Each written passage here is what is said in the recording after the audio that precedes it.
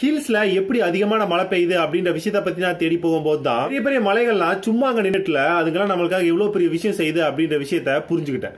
நிலப்பகுதியில் இருக்கக்கூடிய தண்ணியாகட்டும் இல்ல கடல் பகுதியில் இருக்கக்கூடிய தண்ணியாகட்டும் இது ஹீட் ஆச்சு அப்படின்னா நீராவியா மாறும். மறுபடியும் மேல மேகமா போகும். இப்ப ரொம்ப உயரமா மேல போகும்போது அந்த நீராவி என்ன ஆகும் பாத்தீங்கன்னா மறுபடியும் கூல் டவுன் ஆகும். கூல் டவுன் ஆயிட்டு மறுபடியும் நீர்த்துளிகளா மாறும். நீர்த்துளிகளா மாறி நமக்கு மழையா பெய்யும். இப்போ ஒரு மேகம் கூல் டவுன் ஆயிட்டு நீர்த்துளிகளா மாறதுக்கான வேலையை மலைகள் ரொம்ப வேகமா செய்யும். இப்போ ஒரு மேகம் இருக்கு. அந்த மேகத்து மேல காத்து வீசுது. அந்த காத்து என்ன பண்ணுன்னு பாத்தீங்கன்னா மேகத்தை அப்படியே தள்ளிக்கிட்டே போகும். அப்படி தள்ளிட்டு போயிட்டு இருக்கும்போது திடீர்னு இடையில ஒரு பில்லர் மாதிரி ஒன்று நிக்குது. அந்த பில்லர் தான் இந்த மலைகள். ஸோ மலைகள் இந்த ஷேப் இருக்கிற காரணத்தினால மேகம் வந்துட்டு அந்த மலையை ஹிட் பண்ணும்போது அப்படியே அந்த மேகங்கள் மேல் நோக்கி தள்ளப்படும். மேல் நோக்கி தள்ளப்படுற காரணத்தால பிரஷர்ல மாறுபாடு ஏற்படும். இந்த மாறுபாடு அந்த மேகங்களை வேகமா கூலாக்கும் இந்த மாதிரி கூல் டவுன் ஆகிறதுனால நமக்கு சீக்கிரமா மழை கிடைச்சிடும் இவ்வளவு வேகமா தண்ணியை கூல் டவுன் பண்ணிட்டு தானே அந்த தண்ணி எல்லாத்தையும் வச்சுக்குதா அந்த மலை அப்படின்னு பாத்தீங்கன்னா அப்படியெல்லாம் வைக்கிறது இல்ல அது ஒரு நதியா நமக்காக தருது. நீங்க எல்லாம் ஒரு வார்த்தை கேள்விப்பட்டிருப்பீங்களா நதிக்கரை நாகரிகம் அப்படின்னு.